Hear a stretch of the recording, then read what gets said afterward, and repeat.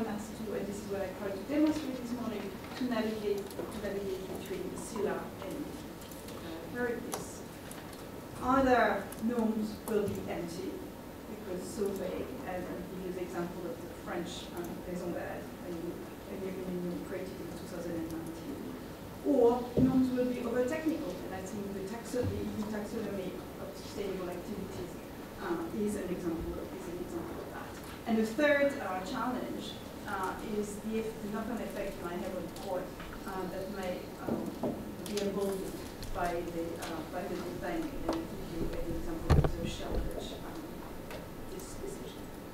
So let me first start with uh, with the, with the genesis of the ESG uh, audit. As we know, there is a change in the corporate governance issue, so agency, disloyalty, self-dealing, we wrote on that, but now, you know, the focus is more on corporate externalities and sustainability issues. And the reason why there has been this, this change has been you know, fueled by um, few corporate scandals. So we can remember um, the Volkswagen scandal, Volkswagen fitted diesel cars with uh, software to different uh, emission regulations, software able to uh, distinguish whether the car was tested and then switch it into best behavior mode, you know, no, almost no emission but high fuel consumption. As soon as the car is on the road, then it's another another mode of, uh, that is activated, high emissions but very uh, but, uh, very economic as far as fuel consumption is concerned. Another example, the ExxonMobil uh, scandal. ExxonMobil since the, the 70s had you know high level uh, team of researchers. They knew about problem with uh, use of fossil um, uh, energy and the impact on uh, climate change. And they and then what they did is that they engaged for 30 years in a campaign to lobby against the idea that there was a climate change danger, uh, etc. So they undermined the climate principle 30 years.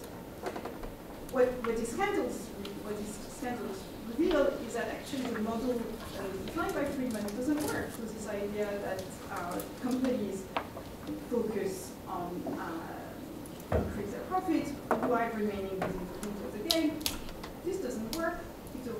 game don't constrain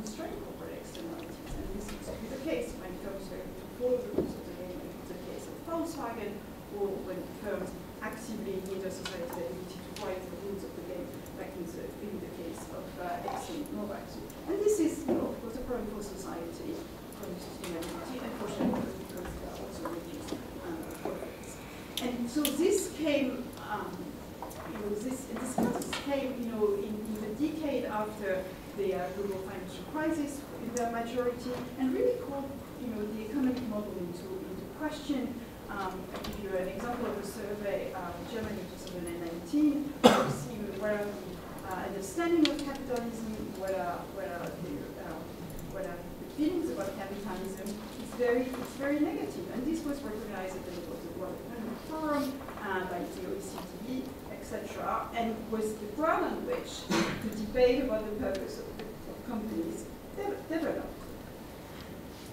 Corporations, of course, reacted in a very forceful, uh, in a forceful manner. We all remember the US Roundtable statement of August 2000 and, uh, 2019, um, and which was matched by similar statements in Europe. I give here just one example in the UK uh, of the Better Business campaign, uh, campaign Act.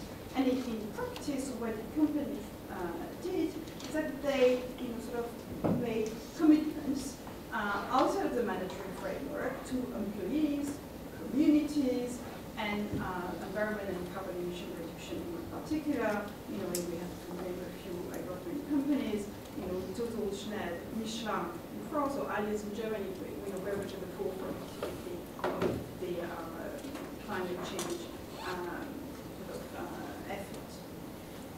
And this was very much encouraged by asset managers, property advisors, institutional investors in activities, and the two main groups, corporations too, um, to make those commitments and for those commitments are the following. On the one hand, disclosures or announcements.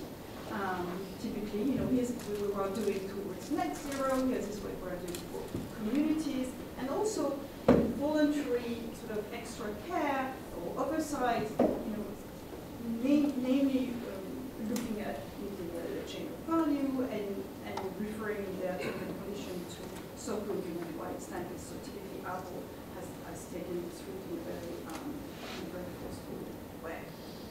So what can they? Well, this is just you know, corporate strategy. Of course, they react. You know, there are some things you know, that actually don't bite very much.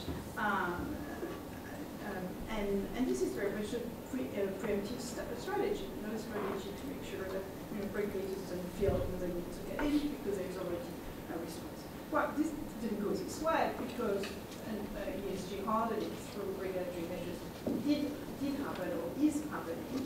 And we can describe this as opportunities because you know, those, those things can be, can, can be described as a way to tackle the issue of sustainability. So these legal requirements um, actually very much followed, this is the first interesting observation, very much followed the corporate commitments. You know, they focus on oversight through corporate law measures and on disclosures through separate securities law measures.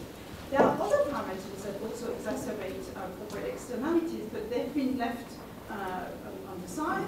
You know, we can think of limited liability, um, but you know, of course, liability is also useful to promote as been touched, uh, political party financing, and lobbying in many jurisdictions is still, you know, still, still there. Short-termism hasn't been necessarily tackled head-on either. So really the focus is on oversight and disclosure, just like corporate corporations had, um, had started to, uh, to do or had initiated. So in continental uh, Europe and at the EU level, um, there are a few, um, many things that can be that can be mentioned, and, uh, and I will do so with um, um, with the following observation: is that you know after Brexit, Germany and France have become the leading voices and almost unchallenged because you know the UK, which perhaps a different, different take capitalism, is is not around the table, not around the table anymore, and France and Germany have a rather pro-stakeholder uh, approach. So Germany, violent capitalism, with a Mitbestimmung uh, type of governance, employees being part of the, of the decision making a, you know, a, long-standing concern for environment, has not very surprised, you know, has, has come in 20, 2021, uh, this is an Ukrainian statute of protection of human rights along the value chain. Quite surprised and very different from what we see at the EU level. France, uh, starting in 2017 with the loi, so an act, duty of vigilance for parent uh, companies, that also you know, relate to the supply chain. And this, and the one I want to tell you about more about is the 2019 Loi PACTE on Growth and Transformation of Companies. Why do I want to talk about this one? Because I think this is an illustration of the first challenge. You know, writing, you know, that are actually meaningless. And it's a good illustration of that. Um, so the, the Loi PACTE uh, was really the brainchild of two great leaders, uh, Alain who was then head of Michelin, and head of Renault, and Emmanuel Faber, uh, was uh, head uh, Danone since I And this, uh, this, these, two, these two people um, um, of inspired a report that inspired the that for the first time introduced a framework for managerial decisions. There was, until then, there was nothing in French to tell uh, executive managers and uh, directors what, what to do. So now it's codified and it's multi-tier. So two things you have to look at. First, the uh, corporate interest. So the board determines a corporate strategy in line with the corporate interest. This is now in the code. And second, stakeholder interest is also when managing the company. Shall have regard environmental of its activity. And here, as you can notice, there is no guideline regarding the hierarchy between, between the interests and how to coordinate them. And it's, as a side note, it's interesting to note that um, they, um, the inspiration for Senard and Faber was English. Well, you know, England law, you know, English law, they have this section 172, you know, it's all about um, stakeholders, you know, stakeholders are mentioned, you know, this in France is just impossible. Well, it's possible that they got slightly lost in translation, how they understood uh, section 172, if we see the way they uh, translated it in, uh, in French. But, you know, France being France, okay, let's go further than you know, what can be, done uh, in, other in other jurisdictions. And we're going to introduce a third level in the decision-making framework.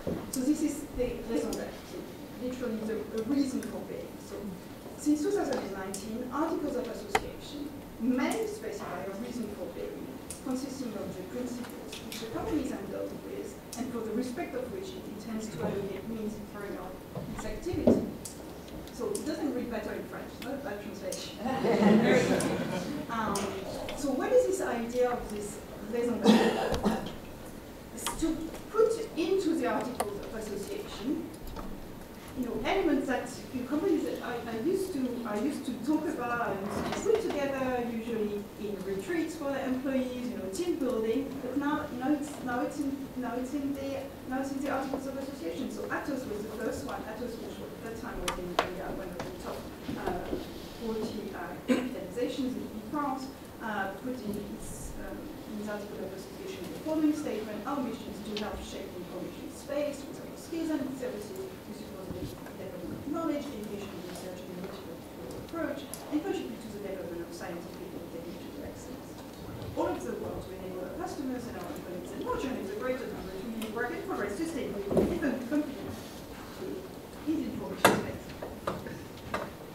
Article of association. And actually many companies sort of uh, uh, followed, followed that route and took this opportunity offered by uh, the legislator, which by the way didn't need to be a need ways to do it, but they, they took this opportunity. And now 60% of the top uh, French uh, companies have such a raison d'être in their articles uh, of association.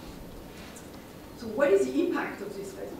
Very exciting to explain. And you know, it's much too vague to provide, to provide you know, effective ground for directors' liability of dismissal. Even if the French law, it's easier to uh, get to the, to the director, for instance, in English law, you know, it's just so vague. Very, you know, there, there is protection of the, the, functioning of the business rule makes it so that it's, not going to happen. Um, it's also unlikely to uh, enable annuity of uh, board decisions or, for contracts.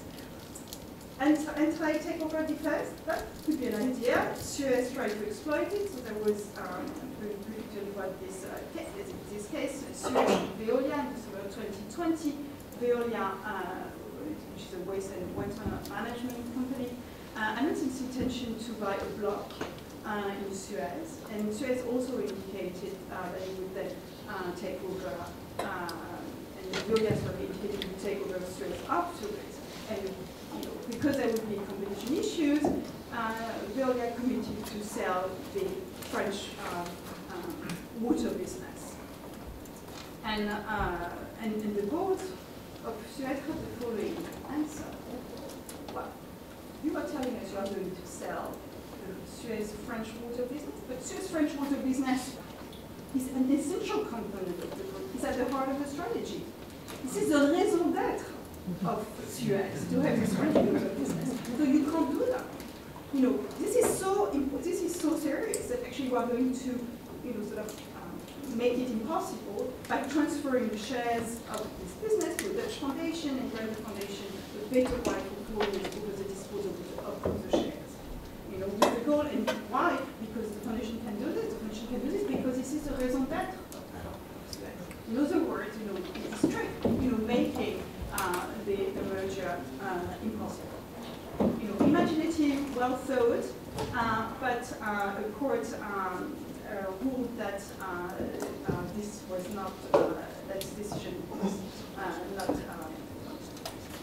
that, that actually uh, proved that uh, Suez was prohibited from uh, such a, such a rule, which just designed to prevent Veolia from carrying uh, the takeover, uh, project. But you know, Veolia learned this lesson, so they also now introduce a raison d'etre in their article of association to the source in the world, and they are now ready to fight any takeover attack in colors. This is a color pill.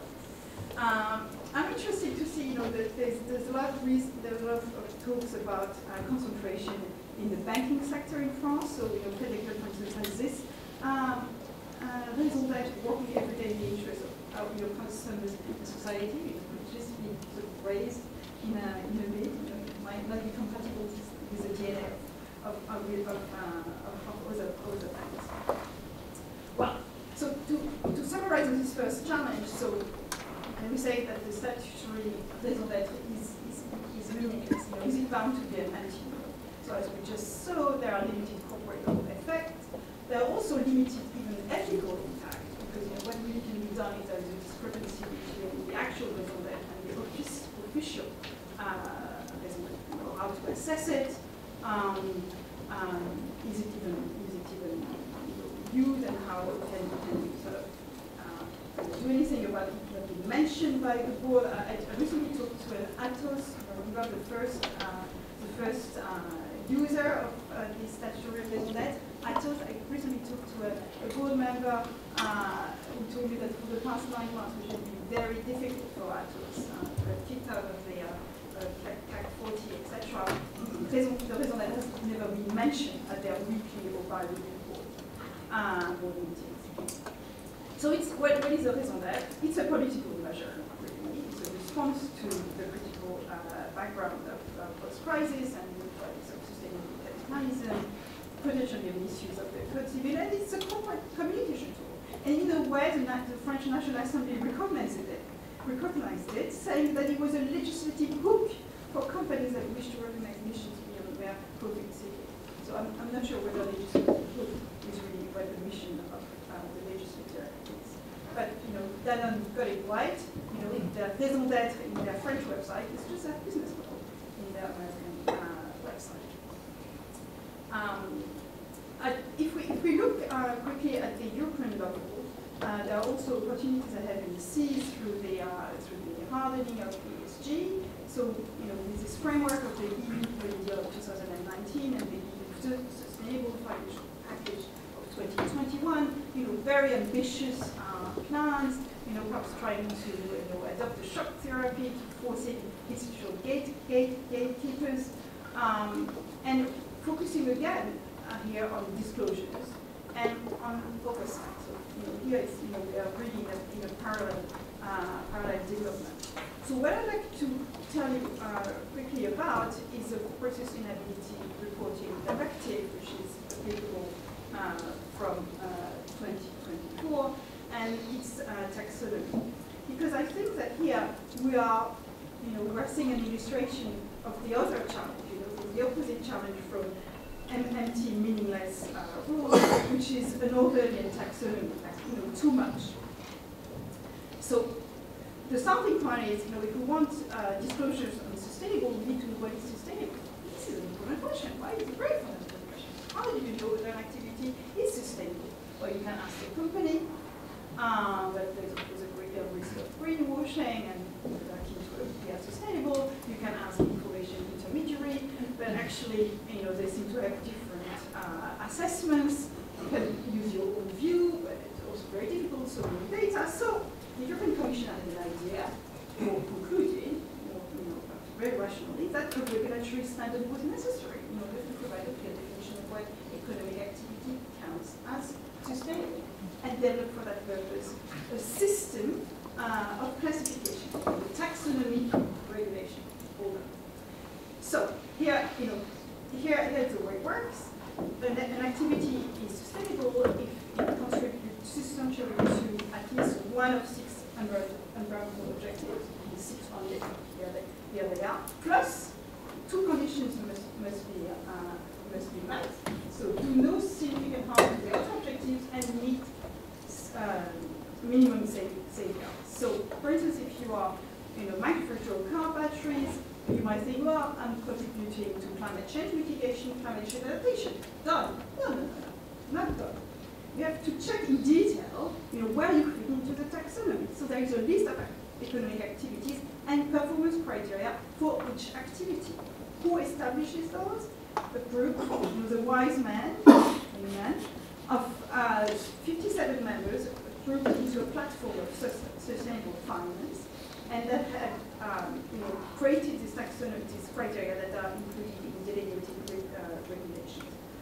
So companies are you know, sort of forced into this uh, regulated, um, uh, this, into this, uh, into this text, which is you know, very uh, bureaucratic, very difficult to understand, but, but you know, for chance, there is, um, as you described, user-friendly uh, website with a taxonomy compass, only two colors, uh, but uh, very precise, so precise and so technical that it's actually referring to appendixes, etc. Become very, very difficult uh, activity, very time-consuming activity to actually even determine whether your activities will qualify as sustainable uh, or not. And so will this EU taxonomy achieve its objectives? Can we trust standards that are, developed, that are in a sufficiently rigorous way by these uh, people? How political are those standards?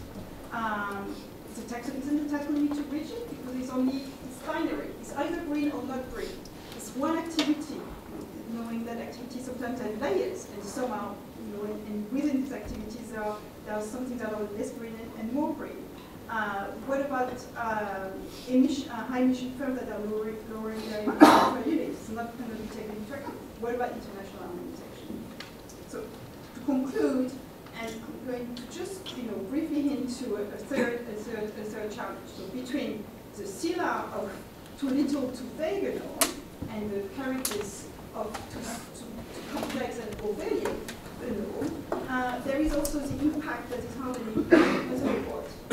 Um, so you might think this is a nyam nyam Korean dance, but actually, this is with what they are doing. Those are the, um, the supporter of immediacy in the uh, in the uh, in front of the, tri the Dutch tribunal that uh, gave a decision in 2021 against Shell, finding that Shell had breached an implicit standard of care, and that the standard of care was not mentioned in, in, in Dutch law was actually to be found and to be deduced or interpreted on the basis of corporate commitments to UN guiding, guiding principles.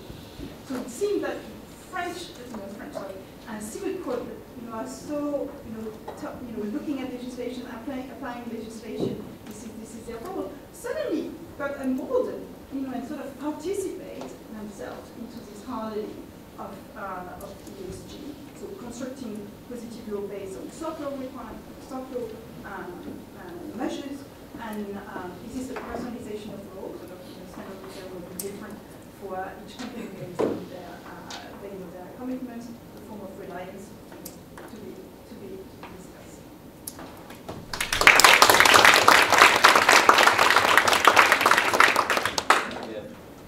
Hi, so my comment is going to be different in ways. First of all, I don't slides. And second, um, is less by way of a comment on uh, excellent presentation, but more uh, inspired by her draft paper, which she shared with me. So I'm going to touch on some issues that go beyond what you spoke about, so in that sense, uh, maybe more complimenting rather than directly commenting.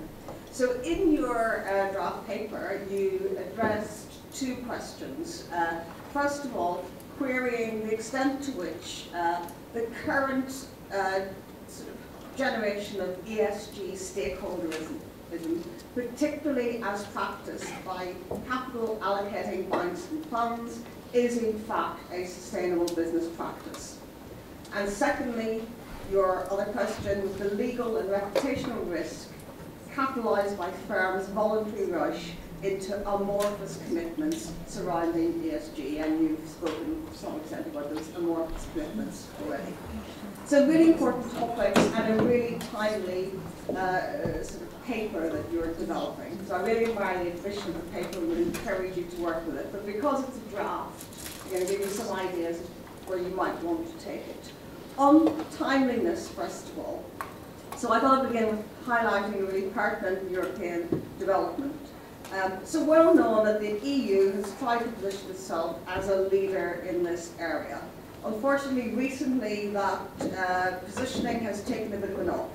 First of all, the, the US, the Inflation Reduction Act, the US throwing a lot of money at the problem and clearly seeking to uh, position itself in this area. And that's a problem for the EU, which has not been looking at money as a way to address these issues much. It's complicated for the EU with its state aid rules, so it's been forced onto the back foot now trying to catch up with the US in this respect. And secondly, where the EU has sought to lead is in regulatory leadership, and some of that is facing a bit of a backlash now. So one of the uh, developments that I would highlight is in the area of the Sustainable Finance Disclosure Regulation, which was on one of Yannick's slides. So in that uh, regulation, the EU has sought to designate funds by reference to how green they are, either dark green, Article 9 funds as they're known, or Article 8 light green funds. So really setting a high standard in this respect. But that's run into very significant trouble. So quite recently, um, the European Securities and Markets Authority's stakeholder group has described the Article 9 category, the dark green category, as effectively null. It's bounded by uncertainties, the standards very high, and the market has reacted by just not seeking an Article 9 designation. So they're putting more and more into the light green Article 8 funds. And that's understandable from a risk management perspective market-wise, but it both undermines the coherence of the Article 8 category and empties out Article 9. So you can see that, perhaps, as an example of moving too fast and creating a, a regulatory mistake as a consequence. Now, I picked up from your paper that you're worried about hardening. You think there's something to be concerned about. And so you could take that Article 9 example as one that validates your concern. But at the same time, I think it would be a mistake to say, oh, well, then that means that the, the state, the public sort of, uh, interest should, should step back here. Clearly, there is a role for the state for hard law as well as market initiatives and soft law measures as well. So I would suggest that the task is not one or the other, it's about finding the right combination of measures. In some respects, I think I disagree with your paper in so far as it takes a quite negative view as to hardening and hardening being challenging um, because I take this view that you need to have all forces, you know, these are the world's biggest problems facing us. You, you need everybody, all sources of uh, uh, kind of regulation uh, impinging on it. And I also think that actually uh, we shouldn't exaggerate the extent to which norms are hardening in this area. Actually, there's a lot of industry uh, influence. So the next paper coming after this one will talk more about that. So, um, with those thoughts in mind, I want to just focus in a bit more on hardening, which is the core concept that you use. Now, hardening is a familiar idea and is often used to describe the process whereby something that starts off as a guideline, a code of conduct, or some other norm gradually acquires formal legal force. So it could be an industry code practice, could be some supervisory guidance, could be standards agreed at the international level. And we know that there are many driving forces behind the creation of those norms. So industry wanting to demonstrate that it can self-regulate to stave off uh, a formal intervention, or industry wanting to get itself out in front to pre-structure regulatory standards. And indeed, there's quite a lot of discussion in the literature that that's the situation that we are in now, that actually whilst sort of things are becoming harder, they are still reflecting the norms, the values, the approaches of the industry, and in ways that could potentially mean that we end up with hard law that is not aligned with public interest because it's been appreciated by industry too much. The tendency to harden that exists within a lot of soft law norms, particularly at the international level, is one that can be deliberately exploited for strategic reasons. So again, at the international level, so soft law standards often used precisely because they are soft, they allow for different degrees of readiness, they allow for exceptions, reservations, phase-in periods and the like, but less of the wariness of countries to actually agree to those standards in the first place. And generally, not often that's seen to be uh, a, advantageous thing. So to some extent in your paper, you do use hardening in that sense, that gradual process of moving from a voluntary norm to something that acquires legal force. To the extent that you see this as challenging, at one point when I read your paper, I wondered whether you were actually saying there's something to be worried about even in having soft law voluntary norms. And there are some traces of that, you know, some of that in the literature suggests that, you know, we shouldn't be kind of trying at the international level for soft law standards because that just kind of um, stifles experimentation, amplifies regulatory mistake. And there are some references to mistake and to crowding out of private sector initiatives.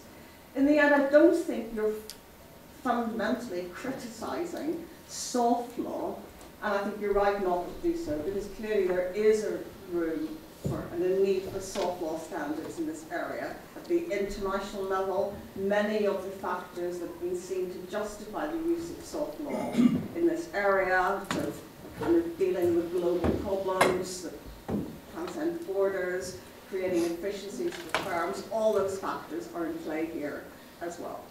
And the reason why I think you're not fundamentally questioning the process whereby uh, sort of norms emerge at the international level is based on what you say is the interaction between uh, the, the TCFD, the Task Force on Climate uh, related financial disclosures, or the new emerging uh, international sustainability standards, and how they are being applied, used in the EU. I mean, the International uh, Sustainability Standards Board is pretty clear that it wants its standards hardened, so it talks about you know, jurisdictions building on the global baseline, the advantages for companies in that, and also um, the efficiency and comparability benefits for countries as well when they incorporate them into their jurisdictional requirements. And in looking at the EU's importation of those standards, you do say that it's advantageous in that it will help generate a much needed effort to reduce the amount of paperwork that companies need to comply with. So you do see some benefits to standardization. So when I really read your paper closely, I saw that what you're worried about when you talk about hardening as a challenge is more to do with the pace. That you're worried about um, a quickening trend, the accelerated pace of hardening, the stampede to embrace ESG. And some of your comments then make more sense in that when you talk about uh, French law, when you talk about German law, you're already talking about systems that, in their hard law, are already quite stakeholder in their orientation. You describe them as stakeholder cultures. So we're going from one version of, of stakeholder law to uh, a more ESG-friendly version of stakeholder law, but it's all variations on hard law. And equally, the same debate about 172, I wouldn't myself see that as an example of hardening, so 172 in the UK.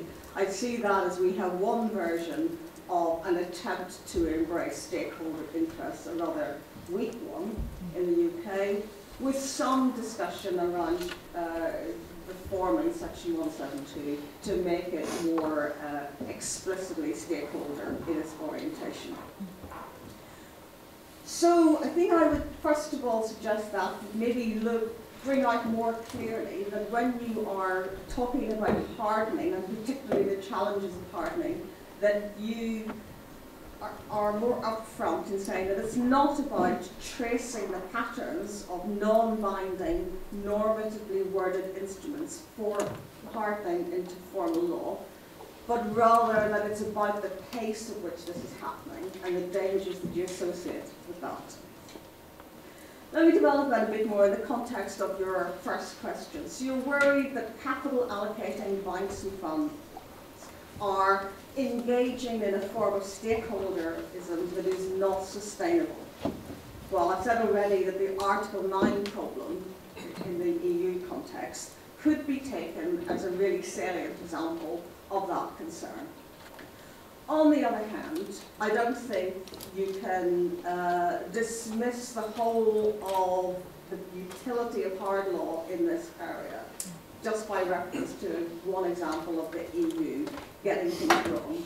And I also think that there's room for a more nuanced understanding of how the public sector, how central banks, how regulators and others can contribute in this area in ways that involve a range of tools, not necessarily simply looking to a legislative solution. So let's think about banks and asset managers specifically. Now, of course, they've all been very vocal in a, you know, sort of, uh, sort of demonstrating their green credentials, and that's great. And to some extent, we should applaud that. You know, no actor in this space can plausibly think of itself as the only game in time. But at the same time, you know, of course, the, the business incentives of banks and asset managers to follow through on their promises can't be assumed. So you need something else behind that. Um, you know, we all want the banks and the asset managers to ensure that investment flows to the most uh, uh, sort of socially productive use to accelerate the green transition. But we can't ignore the fact that those capital allocators are prone to greenwashing. And indeed, earlier this month, the European supervisory authorities issued progress reports on how sort of greenwashing was sort of manifesting in the EU markets. And their analysis shows a clear increase in potential cases across all sectors, and the reports really make for rather sobering reading. We can't assume that the private sector will um, invest the optimal amount of resource needed to kind of navigate the bewildering way of private sector standards. Um, we can't assume that um, uh, that they're best placed to develop the right tools for measuring some of these issues. And those tools around measuring climate risk, uh, maybe I could talk about just a little bit more detail. So if we look at you know, market discipline and the ways in which that won't work to ensure that capital flows to the firms that are best placed to drive transition. Yeah. Mark Carney has talked about the tragedy of Horizon, yeah. the spending today to curb harms that will really only manifest themselves in the future is always going to be suboptimal. Long, long time horizons, uncertainties, catastrophic consequences, yeah, they're not amenable to the finance industry's established risk management toolkit. So really, those need central bankers and supervisors to recognise climate emergency as a risk to stability and to act in response to that. So here, I think just drawing this part of my uh, thought together, I would say that um, you know, right to identify the quickening of the hardening process as something that we should be paying attention to. Um, but I would urge you to introduce perhaps some more nuance into your analysis of that. First of all, to find room for the spaces for productive interaction among multiple overlapping communities, legal systems, and to look more carefully at the procedural mechanisms and the institutions and practices that enable all these systems and communities to work together. Secondly, I suggest that um, soft law norm, norms, they're often and usually just a starting point for national laws, and they are subject to a great deal of variation in how they are implemented, how they are overseen, how they're enforced. So I wouldn't exaggerate the risk of negative uniformity, especially in this area, sorry, this era, fragmented geopolitics and heterogeneous preferences. You know, achieving meaningful agreement is pretty hard in itself. You know, the EU and the US are not converging towards a single solution to ESG issues. There's regulatory hardening, yes, but that doesn't imply regulatory uniformity. So there's divergence within convergence, as we hear more about in the next session. I also look more closely at the, the process of hardening and the way in which the public sector can contribute other than by the enactment of formal rules. And there are lots of really interesting examples there. I think the way that the Financial Stability Board actually sponsored and facilitated the work of the task force on climate-related disclosures. A really example of how the public and private sector work together.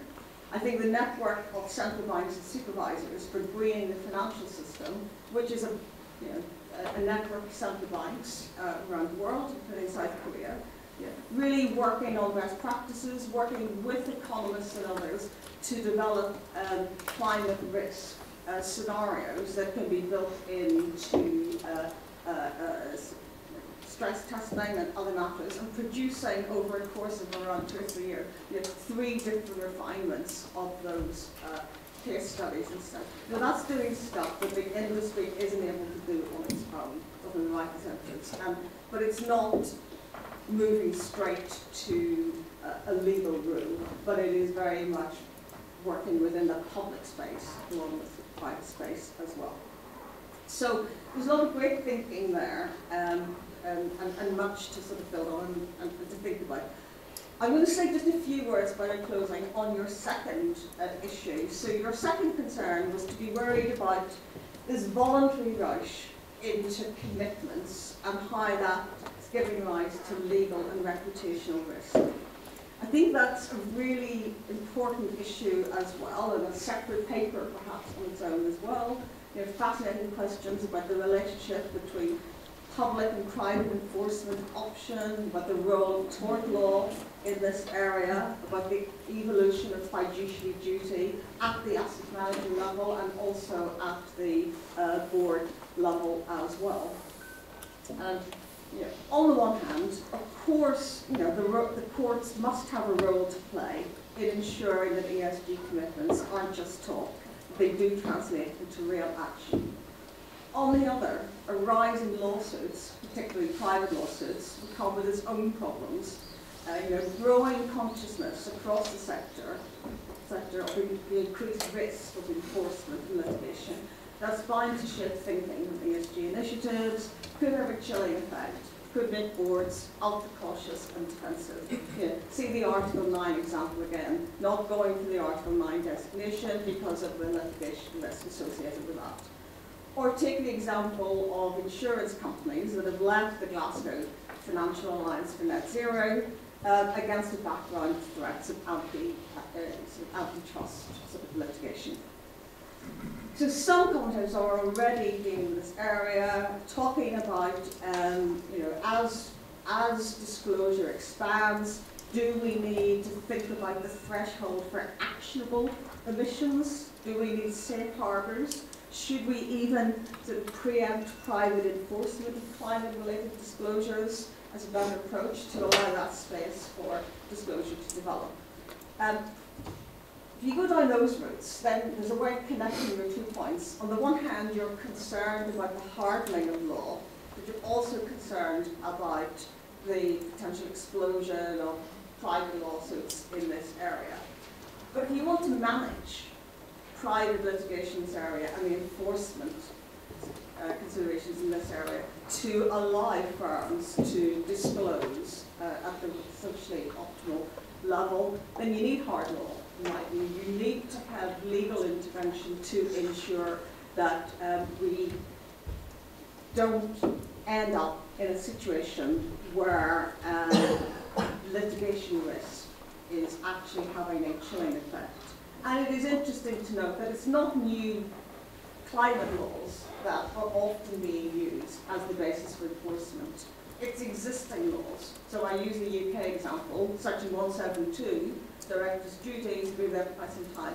That's the basis on which the most recent prominent case has been brought to court, a case against uh, the directors of Shell, um, allegedly being in breach of their 172 duty. Um, uh, uh, some, the transition plan was not ambitious enough. That case was thrown out, but it does illustrate the point. So I do think we need public intervention. We do need some harmonisation, otherwise you get too much noise. We have that problem at the moment. I think you also do need to think about um, the way in which hard law can moderate the risk of too much sort of uncontrolled litigation in this area. Because if you don't, we just leave it to be kind of regulation by enforcement, then you have unstructured uh, uh, sort of developments, which ultimately, I would suggest, raise costs for firms dealing with that litigation uncertainty, legal uncertainty coming in there, and ultimately, in the worst case scenario, decreasing the speed towards mobilizing capital towards the green transition. So in other words, there's an awful lot of very rich material in your paper or what may be in the end multiple papers. So I really enjoyed reading it and I look forward to seeing how it develops.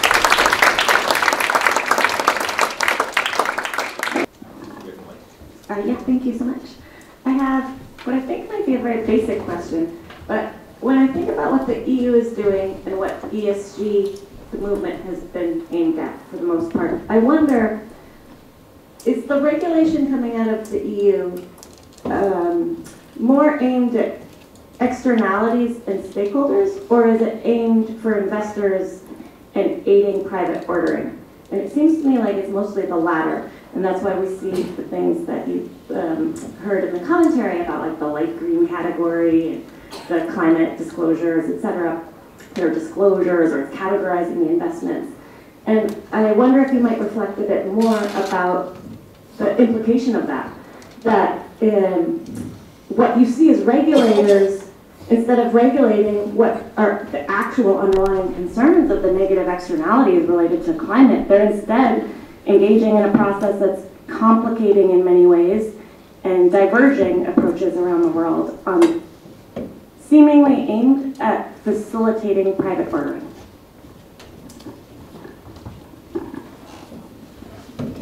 I have a question about enforceability of uh, these duties. So obviously, uh, even though loi PACTE imposes duties of taking care of the social and environment effect, it looks like only shareholders still can sue uh, about uh, the breach of the liability, not the stakeholders.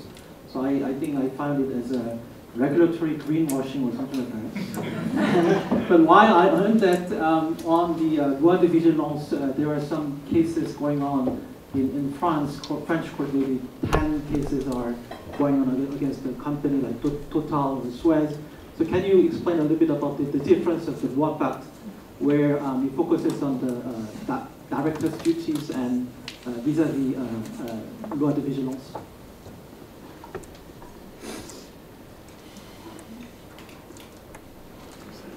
Yeah, so I uh, had three questions. I think the first question with regards to hardening, I think you seem to draw a distinction between uh, yeah, soft law and hard law, but even if there is a hardening of ESG in terms of law, in terms of the making of laws, but we know that you know there are rules and standards, and the the laws can be developed more in the form of standards, which makes it even which makes it soft in a hard law disguise. And even within hard law, there is also comply and explain, for example, the UK modern slavery legislation. Uh, it's, it is a, stat, it's a statute, but then you know, companies are of a certain threshold are only required to disclose uh, whether or not they have complied uh, with the um, modern slavery legislation, and they can and they can actually say that we have we have not complied. So that, that is actually soft law in a hard law disguise. And even if there is hard law in terms of rules, um, if there is irregular enforcement or absence of enforcement, as what Jun said, that would actually make the hard law soft. And I think the second point with regards to clarification, because you, you use ESG in a very broad sense that en encompasses the EU you know, corporate sustainability reporting directive, the EU uh, corporate sustainability due diligence uh, proposed directive that also includes business and human rights measures such as the um, you know the France uh, the French due diligence legislation and Germany also recently passed a supply chain due, uh, due diligence legislation. So I wonder if you could clarify a bit what do you mean by ESG, sustainability, business and human rights. It seems that all is caught under the umbrella of ESG. And I think for hardening, it, the third point is that it, um, it hardening of the ESG in terms of you know the making of the laws and as well as in terms of statute as well as judicial pronouncements. But I think, for example, in Asia, in certain uh, jurisdictions whereby the state has a big role to play. The hardening of ESG takes place through state intervention, through state pressure, state influence that does not necessarily translate into legislation or judicial pronouncements. So that could be another kind of hardening, but in a different form. Thank you. Uh, yeah, uh, one, one thing that I think is very interesting about this hardening is that it's, on the one hand, like there are legal mandate, mandates, but it, they're very qualitative. So we're talking about like light green versus dark green, rather than numerical. Uh, and I don't know, you know, why why that is, but it's sort of it's a very particular type of uh, of hardening, and I'm curious you know, to hear you think about why why we're not going to like the next level of hardening where there are actually kind of numerical requirements or something. So I'm afraid we, uh, we're running out of time, so we, uh, you'll probably have to pick a few uh, questions to respond to. In case those were too hard, I have a few additional easy ones. so, um, so I wondered if you could speak about what exactly these companies mean by commitments to net zero. So are they, you know, are they going to burn a pile of money in case they don't reach it, or is it more of a, you know, strong words? And the second question is, um, so why why two shares to the Dutch Foundation to prevent a takeover? Why was one not enough? That's a bit of a technical question, but I'm, I'm curious. The third question I had was, what's the role of the shareholder composition in driving the adoption of raison d'etre?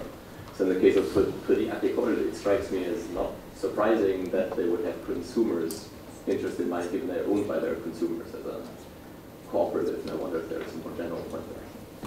So again, we don't have time to answer all the questions, but if you can and choose. Thank you. Thank you, thank you so much. Is this working? Yeah, this working. I can also speak loudly. Um, so thank you so much for all this, uh, all these uh, thoughts and, uh, and comments, and I hope you know we'll have opportunities to, to discuss for more, more than 30 seconds breaks. Um, and um, I'm going to answer the, the easiest question, why two shares? Because two shares were enough, and that, that's it. So it's just, it was enough to, to do that, to give the power to the, to the Dutch uh, Foundation. And I think the core, you know, many of these comments get to, to, to this, to two points. First, perhaps, you know, I need to explain hardening a bit better. It's not only about soft law becoming hard law, it's also about this, um, it's also about these corporate, corporate commitments uh, being sort of um, taken, o taken over by, by, the, by, the legislator, by the legislator. So it's, it's hardening perhaps in a less technical sense. Perhaps I should think of another of another um, of another of another term so that there is no um, no confusion. And I think that this is my second last point. You know, fundamentally, I think you know what I'm describing is the fact that the objectives are very, you know, the objectives are very um, hazy because ESG is hazy, and I'm not the first one to uh, express it. You know, someone in the room uh, was, you know, wrote a whole paper on expl expl explaining, explaining that. And and when you have such a, you know, such a starting point, the result cannot cannot be good. The result is either too vague or trying to correct the objectives in you know the objectives are defined within within within the within the regulation uh, itself, which is not the right which is not the right uh, the right place the, right place. And I think this is the core um, the core issue. Thank you.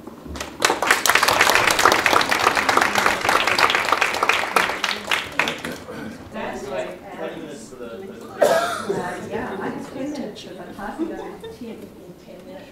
So I expect that. It's fabulous to be here in Seoul for the first time. Thank you very much to SNU and also to Elaine and Suzanne for making all this possible. So our paper is uh, unabashedly a legal paper, and we are looking in our paper at um, this growing body of literature that examines corporate law through an international or a transnational lens. And we want to explore shareholder stewardship, particularly in the ESG area, through that lens, through that transnational lens. And we do it by looking behind the curtain of individual shareholder activism and seeing what we call this uh, ESG, global ESG stewardship ecosystem. Now, that might sound as if it's a fairly dry topic, but it's anything but. but. Yesterday, those of you that uh, attended the conference heard from uh, Professor uh, Jeffrey Gordon, where he talked about what's going on in the US, and he talked about how he thought you had to de-link climate change from the rest of ESG because there is so much backlash against ESG uh, in the US uh, today. So I'm going to tell you what Tim and I feel are the major contributions that our paper is able to make to the literature in this area. Um, there's a lot of literature in the area of uh, stewardship and shareholder activism and institutional uh, investor activism, and much of it is written by people in the room, including, alas, our commentator Dan.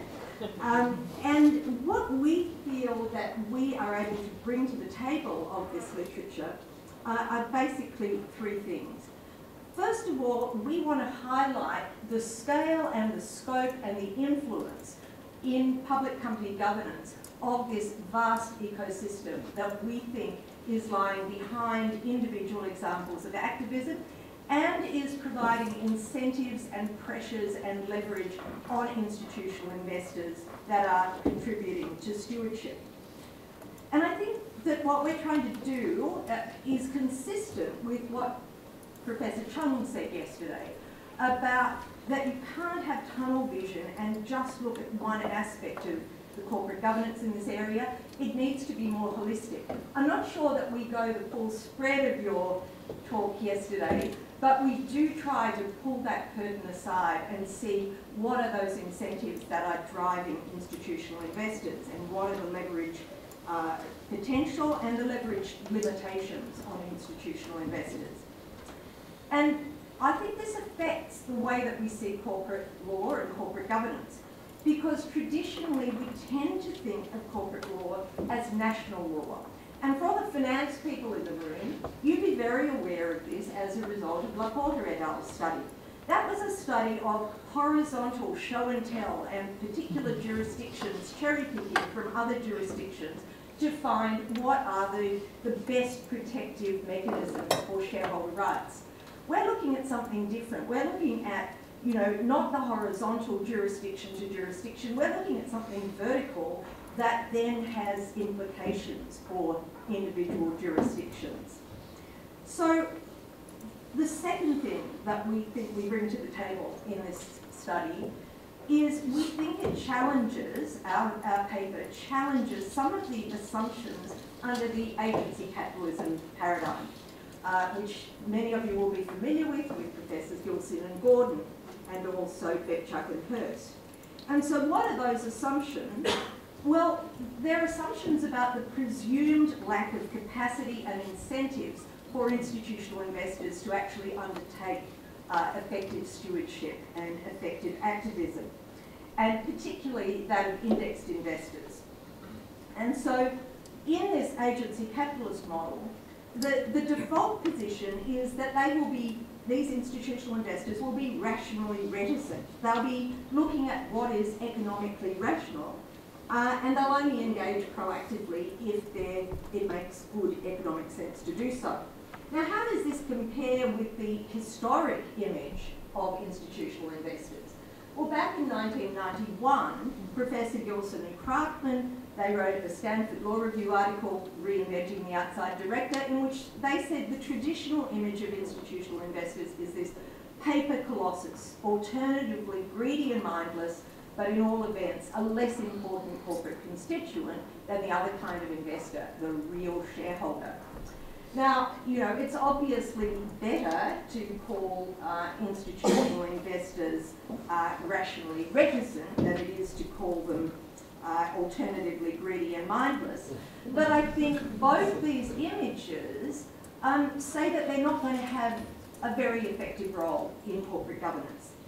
And certainly the traditional uh, image of them as being greedy and mindless uh, tends to say they will always side with management. You know, they're just not going to be a player.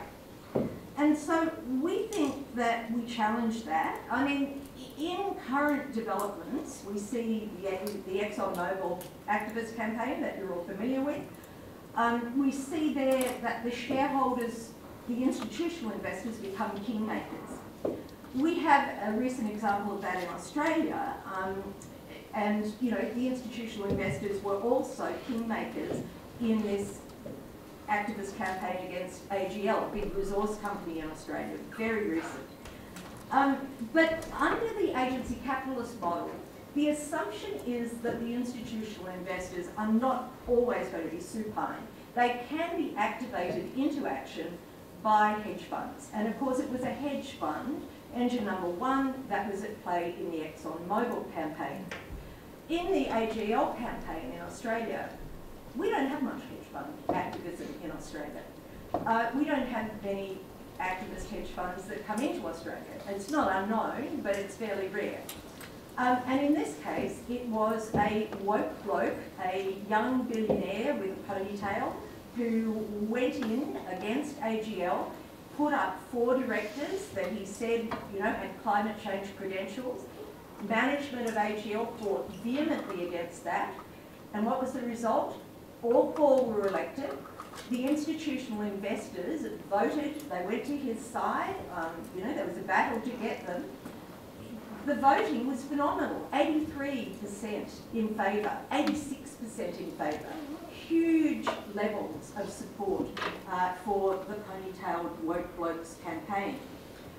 But in our paper, we also show that it's not just a case of different paradigms applying outside the US in terms of who the leader is, we also show that often the institutional investors are doing this for themselves.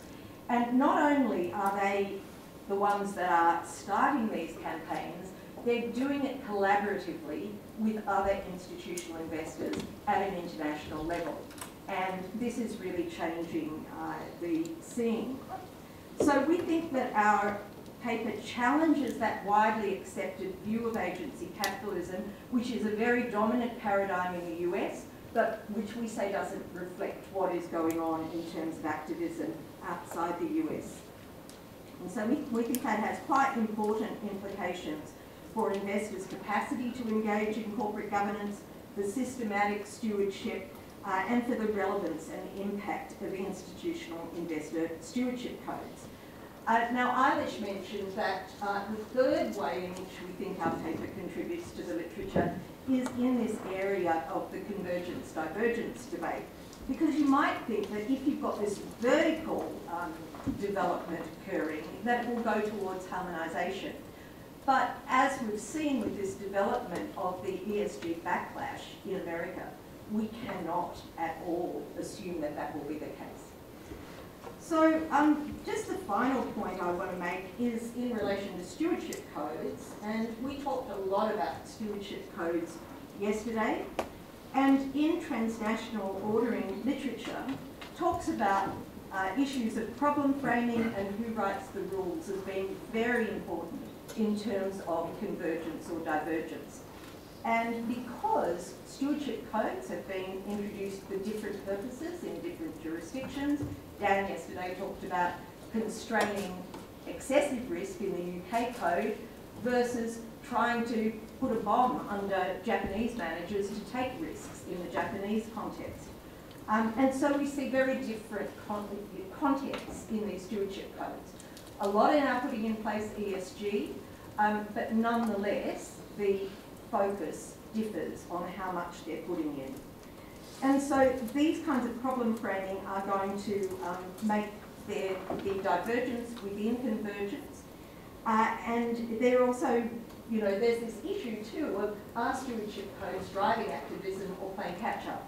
Tim and I addressed that in a different paper, and we think that the stewardship codes are actually playing catch up, not driving. So over to you, Tim.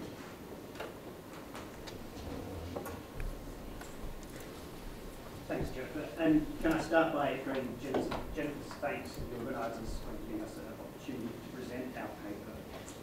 So, um, as Jennifer's indicated, uh, investor action designed to prompt public companies to, um, to address ESG issues or ESG stewardship, as it's commonly called, has become um, prominent in a number of markets across the globe.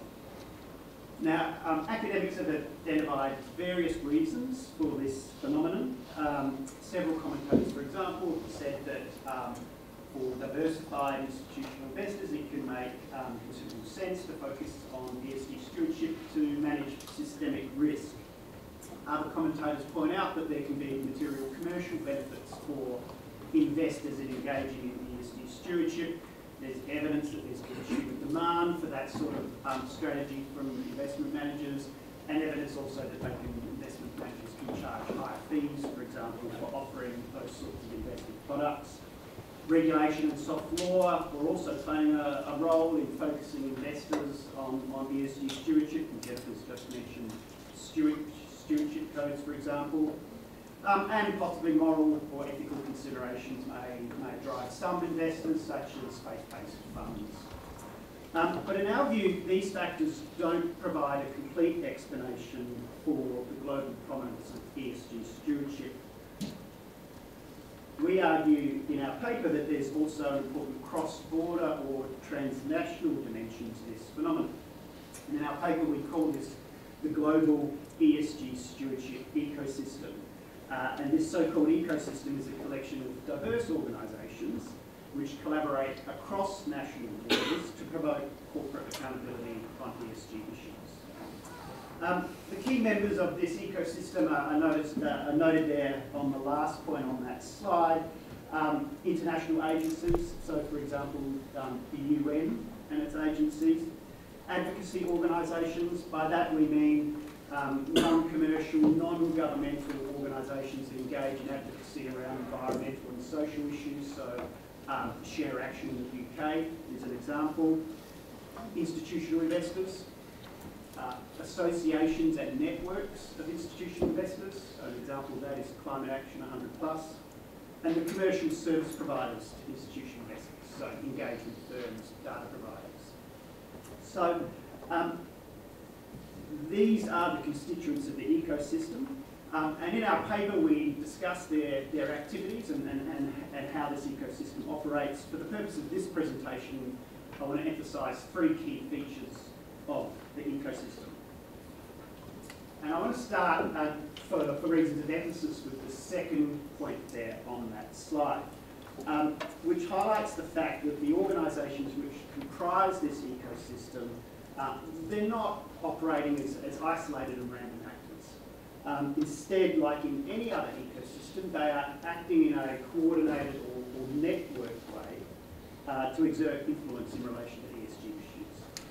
And we highlight various examples of this in our paper. And, and just briefly, we discuss, for example, how the UN and its agencies have a deliberate strategy of, of, of, engaging with capital market participants to further the UN's sustainability objectives.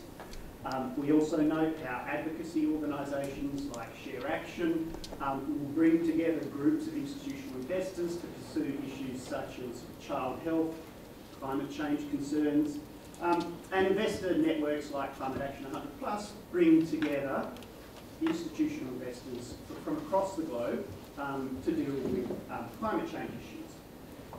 And next, the next key feature is that these organisations are acting at a transnational or cross-border level. Um, so those examples that I just mentioned, we have the UN and its agencies working with capital market participants from across the globe.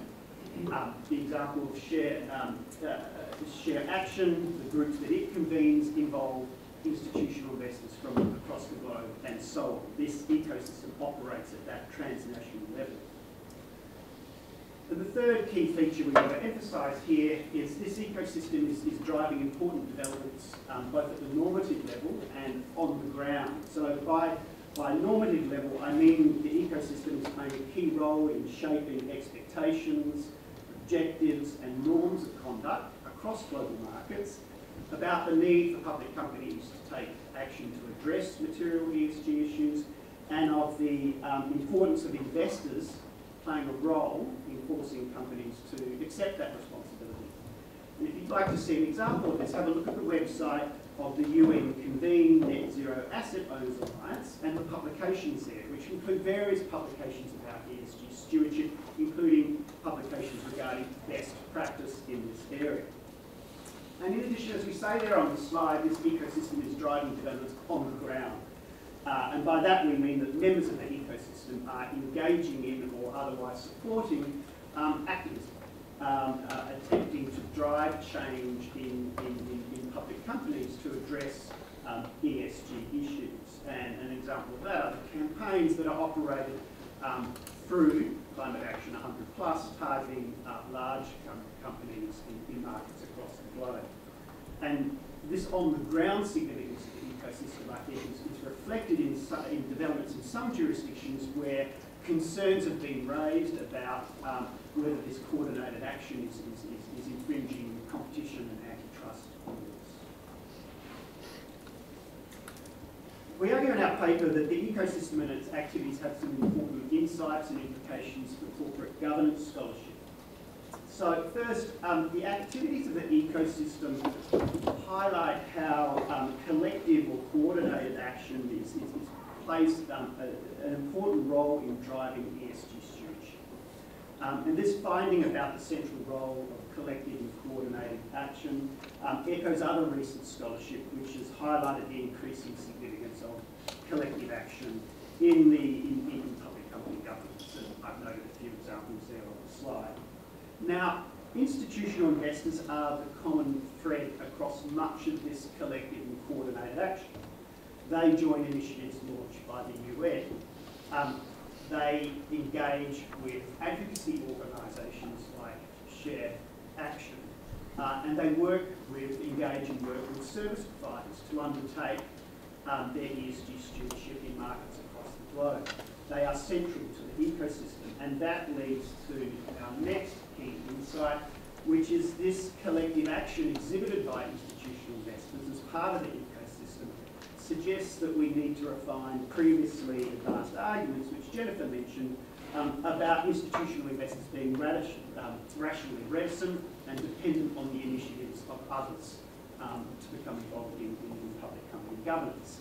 Um, instead, the collective action that we see in the ecosystem involves strategic and self-organised behaviour by institutional investors, um, and, and they're anything but reticent in this context, and it's important to appreciate that they are at the heart of this activity. They are not merely responding to initiatives proposed by others. And this insight prompts the question noted in the next um, point three there, which is, well, where will this trend towards collective action take us? Will we see investors become more proactive broad range of commercial and strategic issues? Or are there topics or issues where collective action becomes impractical, for example, because it's too difficult to derive um, sufficient consensus to allow investors to proceed collectively? Uh, and we think this is an open question which merits careful consideration because, amongst other things, the answer to that question is going to be relevant to um, working out governance power of institutional investors and whether we should be concerned about that governance power. And finally, um, an examination of the ecosystem highlights how many of the expectations, principles and practices in relation to ESG stewardship uh, are being shaped by transnational influences, not just local practices, no, not just local factors. And in our paper we say this is an important point for national lawmakers and In particular, if national lawmakers and regulators decide um, going to stay on the sidelines and let the market drive developments in relation to ESG stewardship, it is likely then that the content and practice of ESG stewardship is going to be shaped to some degree by this transnational ecosystem. Also, if national lawmakers and regulators decide to uh, pursue some sort of regulatory initiative which is open-ended and aspirational, again, they may find that the ecosystem fills in the gaps and, and, and defines how that's implemented in practice.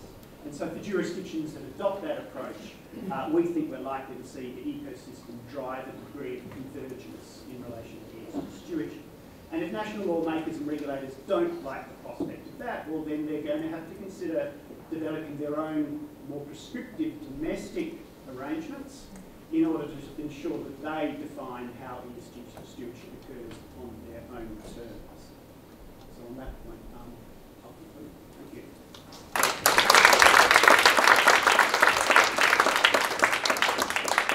Thank you so much. Um, it's wonderful to, to be back at GCGC, and I always have to start with thanks to Elaine and Suzanne. Um, and it's absolutely terrific to be back at uh, Seoul National University. Um, in addition to that, uh, Professor Kon Sik Kim, uh, uh, thank you very much uh, for, for everything. Um, I've been to GCGC and I've had the pleasure of commenting uh, several years. And normally, um, I'm given a task which, for a simple lawyer like me, is uh, very difficult. You know, I, I always say when I come to GCGC, it's the only time in the year where I ever use the word endogeneity. and so, you know, asking, again, a simple lawyer like me to read a corporate finance paper is, you know, akin to acting, uh, you know, asking a, a, sumo wrestler to sort of walk on stilts, right? Whereas you corporate finance people, it's like riding a bike. So this year, I thought I was given a treat, you know, because it's my first law paper. Um, and, and I don't have to deal with this, right? So I thought this is going to be very easy, it's very simple. Until I opened it up and I saw that it's Jennifer and Tim's paper. This presented an enormous problem for me. I almost withdrew my thanks from Elaine. And the reason is um, twofold. The first is that uh, I really love the paper. And so it's hard to make uh, your 20 minutes meaningful when you love the paper. But I had an even bigger problem with, which has to do with Professor Umakanth Varottil. We've written a, a draft of a paper, and we cite this paper about 10 times.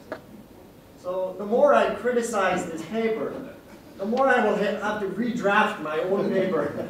so I'm sort of hamstrung by this.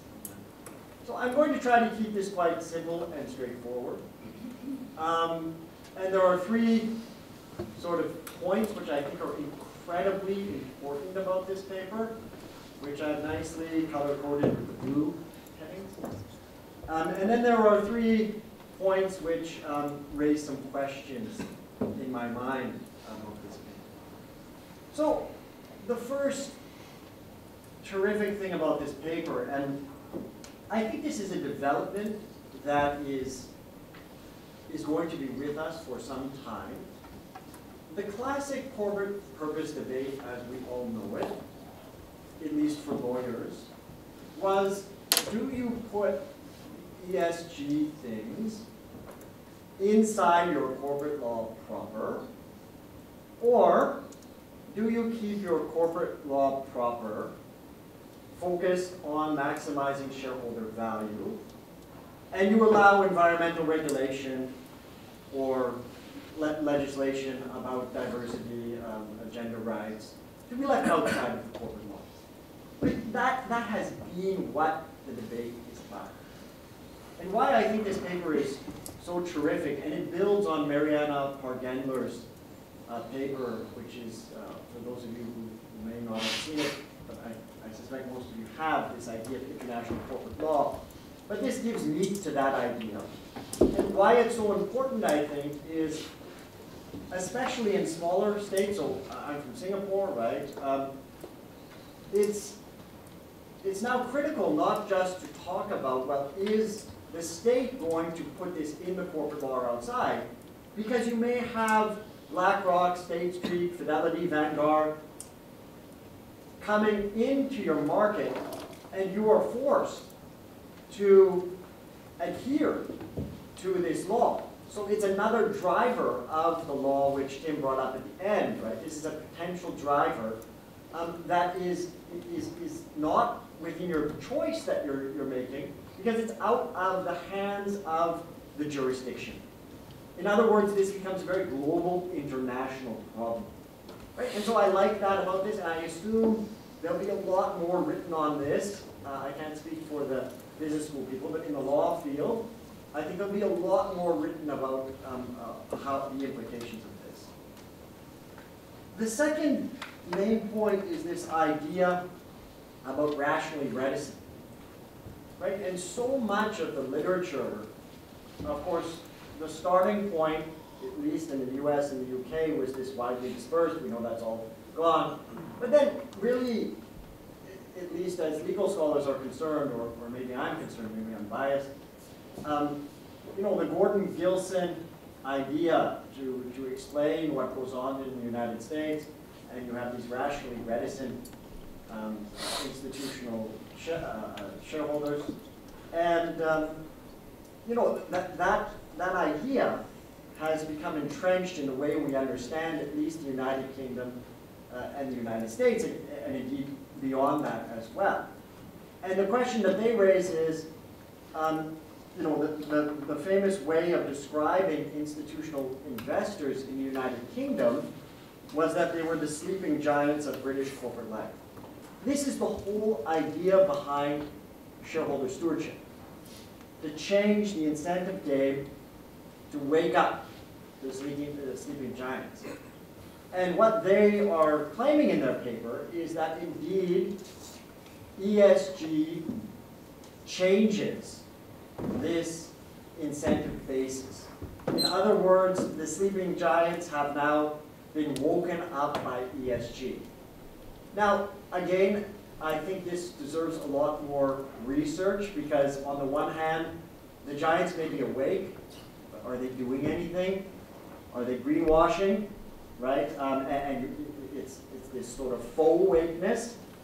Or are they actually uh, awake and doing the hard work of ESG? I think that's another question. But I think it's incredibly important that they've at least raised this. And a few other people have raised this. Uh, uh, Paul Davies in, in our shareholder, global shareholder stewardship book, he has this uh, great chapter, and the subtitle is um, From Saving the Company to Saving the Planet, to explain how the UK pivoted with the 2020 version of the Stewardship Code, um, and how this movement may actually be changing the incentives. Now, to empirically test this, I leave it to many people in this room, but I think it's a, a terrific question. Uh, and, there's a lot of uh, wonderful descriptive evidence uh, within the paper and examples that, that, that raise this question of whether the incentive has changed. I love that we were talking about hardening because, you know, I searched for my pictures, so I thought this is, uh, you know, as good as you can get for hard law versus soft law. Um, and I don't want to, I don't want to belabor the point, yes, but this idea about hard law and soft law is incredibly fascinating. Um, I was talking to, to Gen Goto uh, in the break, and I, I can add another example of hard law and soft law in the context of Japan. So as many of you likely are aware, even non-Japanese law experts will be aware if you read The Economist or, or, or the New York Times. Um, Japan has faced a lot of pressure in terms of gender diversity on boards uh, because they have many boards which have no women. And um, the, the, the, pressure has been coming a lot from institutional investors, um, making campaigns as to, to say that we are going to vote against every single Japanese company that has no women on their boards. Now the question that their paper raises, um, and they don't bring up this example, but I've added this example, is, well, what should Japan do? if Japan wants to occupy the regulatory space, Japan could actually pass hard law. They could put in a requirement, which some jurisdictions in the world have done, a quota requirement. They could harden it, right? And they could occupy the regulatory space. That would take some wind out of the sails of, you know, the, the proxy advisory firms um, and the institutional investors, right? And then they would probably almost go away. The Japanese would, in essence, gain control over their own system. And so I really like this point in the paper, which is that, um, you know, if we look at the last several decades of the spread of corporate governance around the world, we all know that it's been, and I'm putting the U.S. aside for a second because the U.S. is almost always its own animal. Um, uh, it's been through corporate governance codes, right? About 100 uh, countries have corporate governance codes. The most recent iteration of corporate governance codes have been stewardship codes. These are all very, very soft. They're comply or explain. Most stewardship codes are even softer than that. They are, they are voluntary, meaning you have to first decide you're, you're going to sign up, then you will comply or explain. Right? So this has been extremely soft, and now the question is for jurisdictions, do you harden? Right? Do you harden because you don't want BlackRock, State Street, and Vanguard to be determining in your jurisdiction what the social norms are? Now you can debate the, the gender issue within Japan, and there's a vigorous debate. You can ask the question of whether this is being imposed from the outside, whether this is, resonates with Japanese culture, whether Japanese culture has changed. There's a huge debate there. But the question is, do you want to determine this on your own? And so I do see that there is this new impetus for hardening that may go on uh, in the law.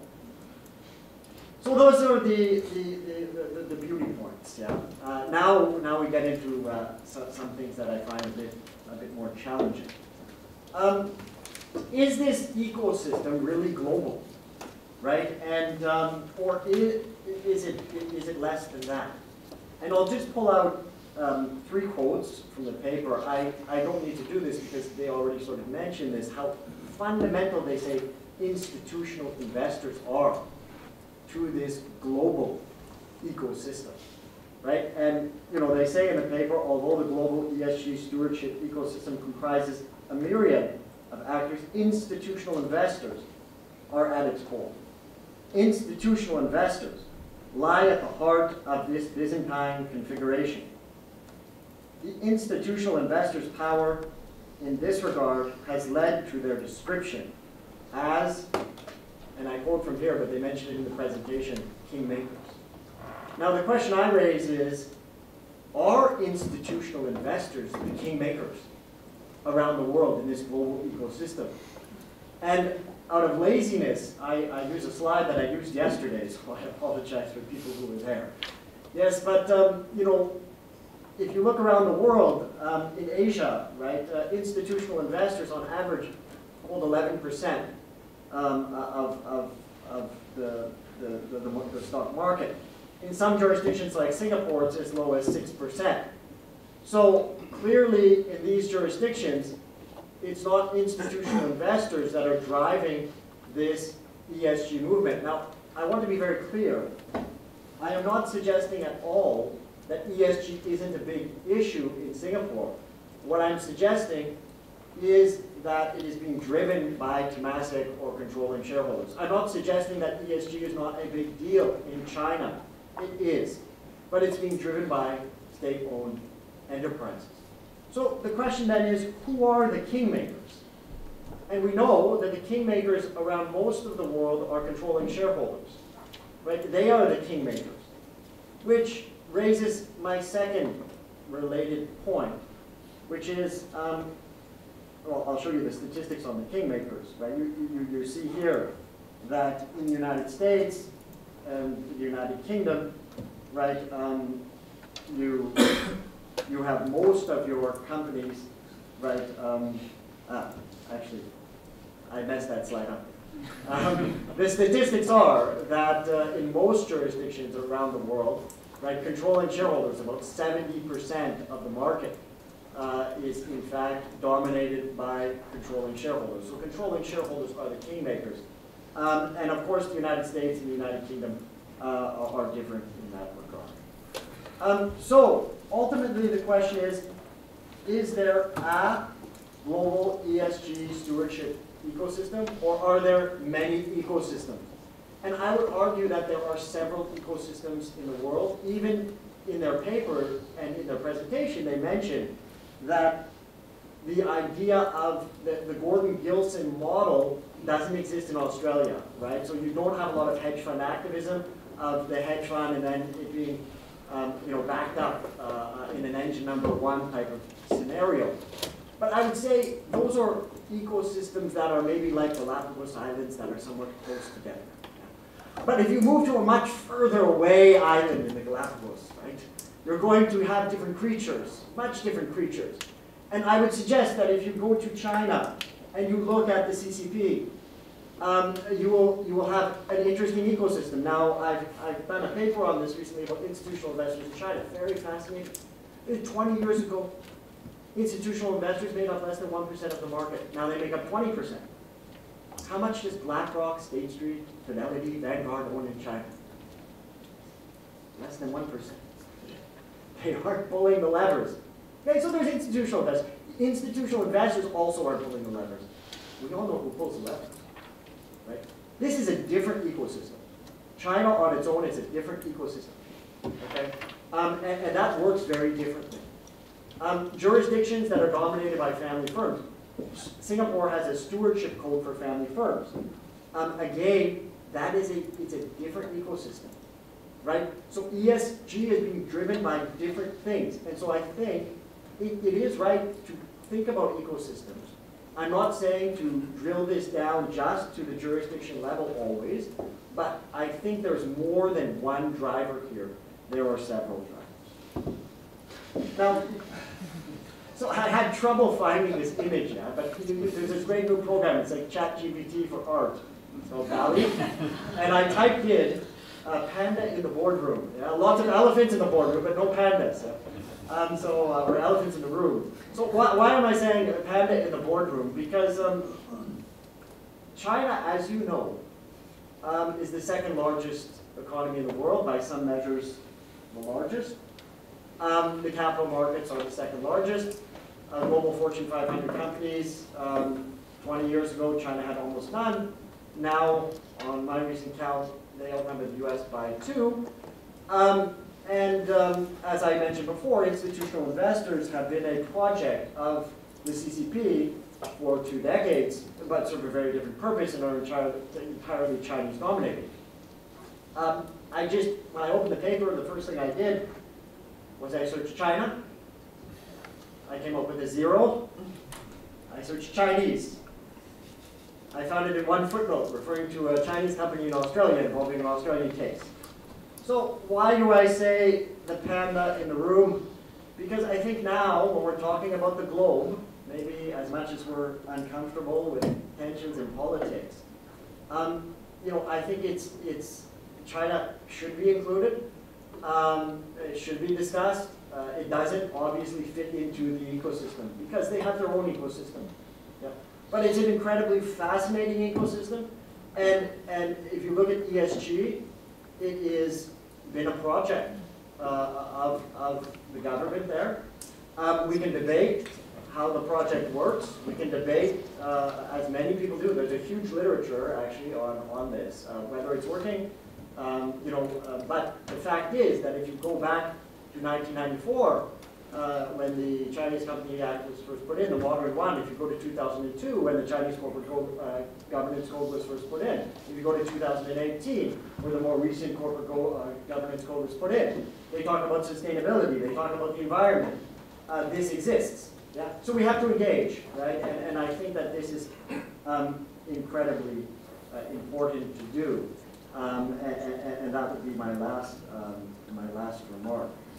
So I end, um, yeah, I think I have one minute according to my clock, uh, with, with one minute, only just to say um, it's a terrific paper that raises issues which are fundamental um, to, to comparative corporate governance, and, and these questions will drive a lot of future research, which is the goal of any wonderful scholarship. So I want to congratulate them uh, for doing a terrific job. And um, just that these are additional questions. Um, you know, um, I hope I will conform to what Professor Kim said with Professor Goto yesterday, which is that um, I'm at least polite but perhaps not diplomatic in pointing things out. Uh, um, but, uh, uh, but really, I love the paper, and uh, I, I, I, think it, it's a terrific thing for a springboard for future scholarship. Thank you very much.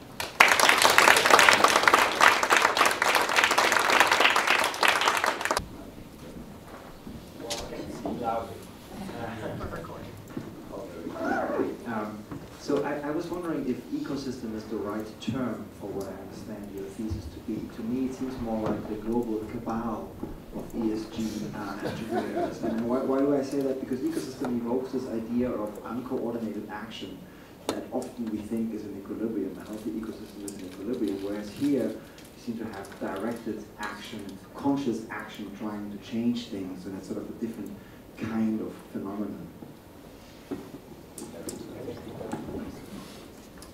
Yeah, I, I want to go to the um, uh, rational reticence question. Um, obviously, that paper um, you know, had a had a positive prediction, right? It was theory that this was a rational thing, and therefore this is what we would expect would happen. Um, and I get and that could be inconsistent with what you found, or it could be consistent, uh, or it, it could be consistent. Uh, I'm sorry, it could be, uh, it could, it could be that, uh, in fact, what you found is, is, is, the, is the fund equivalent of greenwashing. Um, and so I guess I'm wondering what it is incentive-wise that you think is going on with the funds that make you believe this is not fund-type greenwashing, but something real? Yeah, that's uh, Mike. So I guess uh, I'm I'm supposed to speak. So uh, variation of Mary's point. Um, so I didn't read the Gilson, Gordon, Bebchuk-Hirst, and also Kahan and, and Roth contributions as such that they're saying there's nothing happening. It's just uh, they're saying it's not optimal what's happening. So the incentive structure is such that, of course, you portray yourself as doing something as a good steward. That has always been the case. Unfortunately, in the empirical studies, the lacking variables that you use did not lend much support to that claim. And, and so the question is, what's indeed different here?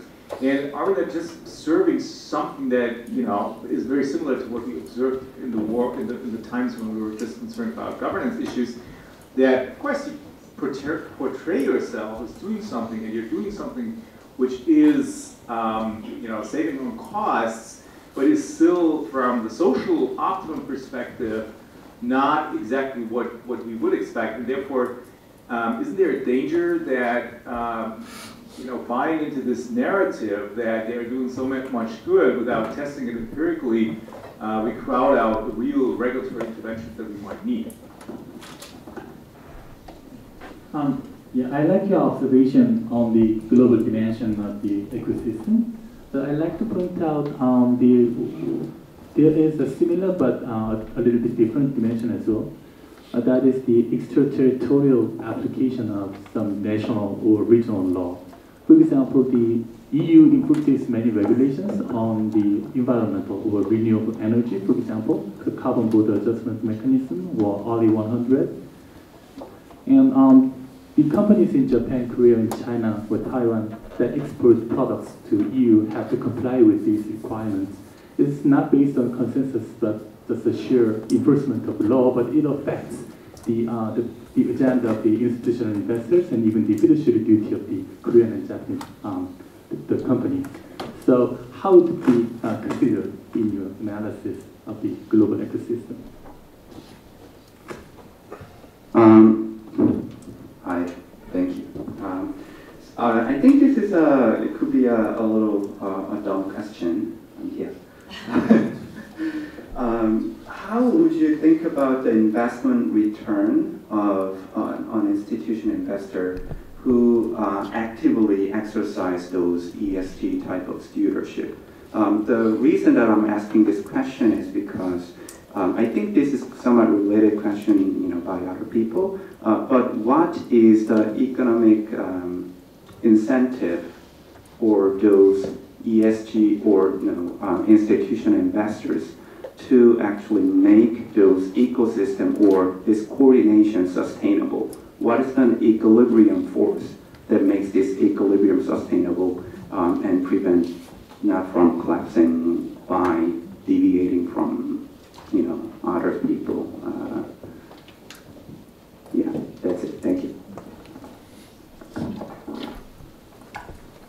So you talked about this ecosystem extending beyond ESG, but my question was about uh, within ESG, whether this ecosystem is developed across E, S, and G to the same extent, or whether you need to sort of disaggregate and think about it in a more kind of uh, uh sort of you know, detailed way. Okay, so, so I'll take my corporate finance hat and, and say something about you know endogeneity and reverse causality.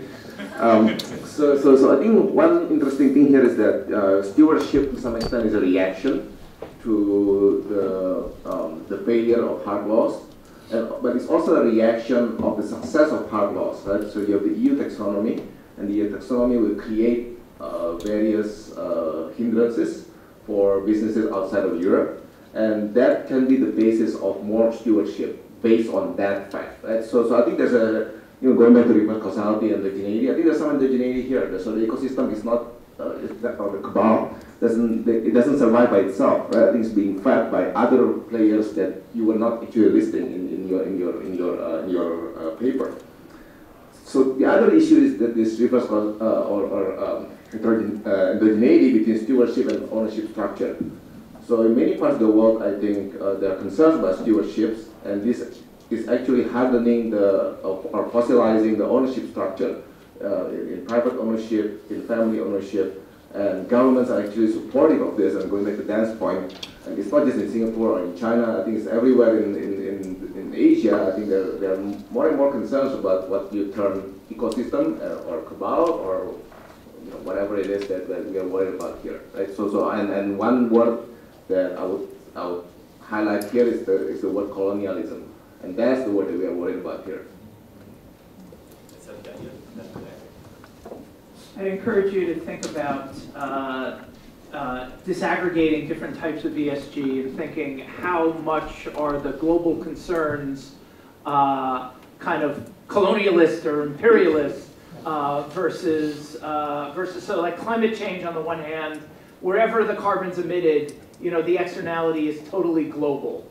While if I'm an American fund and I'm coming into a different culture and I want a certain, you know, gender norm, then that's uh, that's a, that's a different uh, that's a different sort of thing. And I, I don't know. I'm not sure how much this tracks, uh, but uh, but it's just something that I think would be interesting.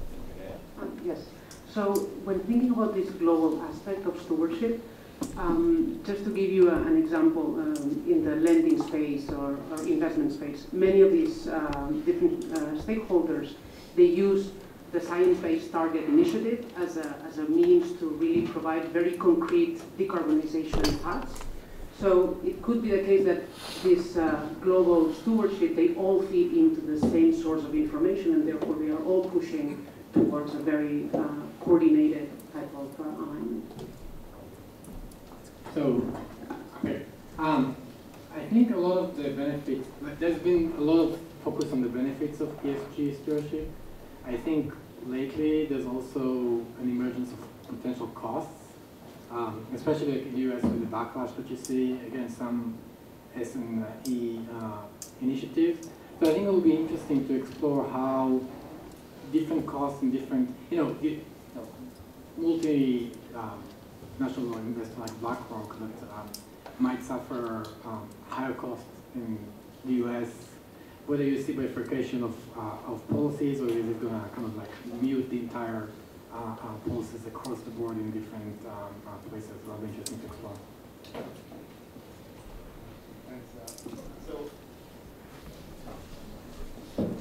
Yeah, uh, I was also interested to see if you would also like to uh, examine a bit more about how these networks actually operate, who initiates the actions, how they make these decisions, uh, because that may be an interesting way to think about how the idiosyncrasies of specific investors can be kind of neutralized. And I was reminded of uh, the recent decision of the English uh, courts in the ClientEarth Shell case, where the fact that ClientEarth and the other investors who sued were part of Climate Action Network was seen as a negative because the court said because of that they've already made up their mind and therefore they're not acting in good faith. So uh, that may be also useful to think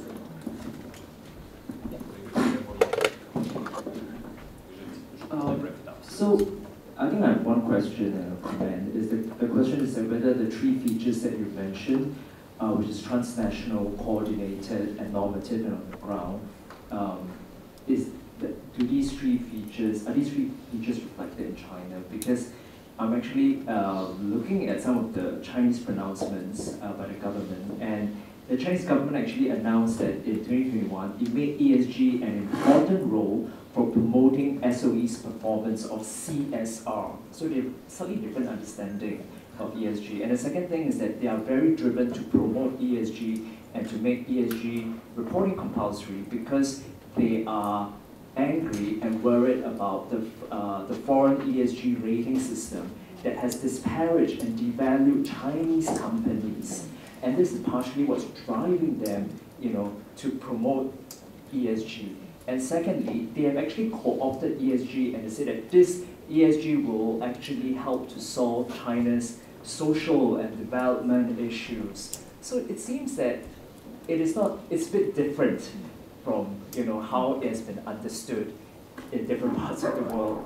You know how they have co-opted the language and how they have made it and how they have institutionalized it and how is it how it is driven.